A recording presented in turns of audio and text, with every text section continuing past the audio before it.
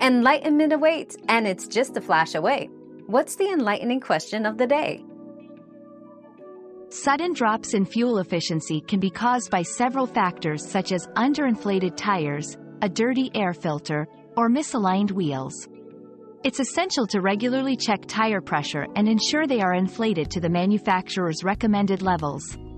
Also, replace the air filter periodically to improve airflow to the engine, and ensure your car undergoes regular alignment checks.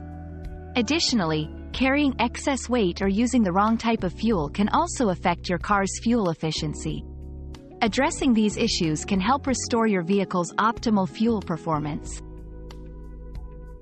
Another mystery solved, but many more await. Keep up with our daily discoveries by subscribing and turning on notifications.